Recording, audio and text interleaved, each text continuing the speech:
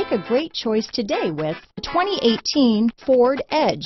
Thrills with more power and MPG. Either way, you're in for an exhilarating experience with Ford Edge. This vehicle has less than 30,000 miles.